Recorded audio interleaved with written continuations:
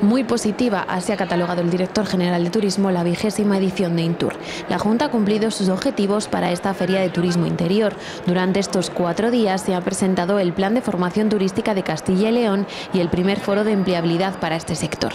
También se ha dado impulso a la oferta cultural y patrimonial con una promoción específica de los conjuntos históricos de la comunidad y la presentación de una ruta turística. La internacionalización ha sido otro de los objetivos de esta edición, al igual que el auge del turismo gastronómico una edición con numerosas novedades, eh, con mucha eh, actividad, eh, con muchas presentaciones, una edición que nos deja unos resultados y unos datos en el ámbito de comercialización y en el ámbito profesional muy positivos y muy satisfactorios y una edición que nos permite también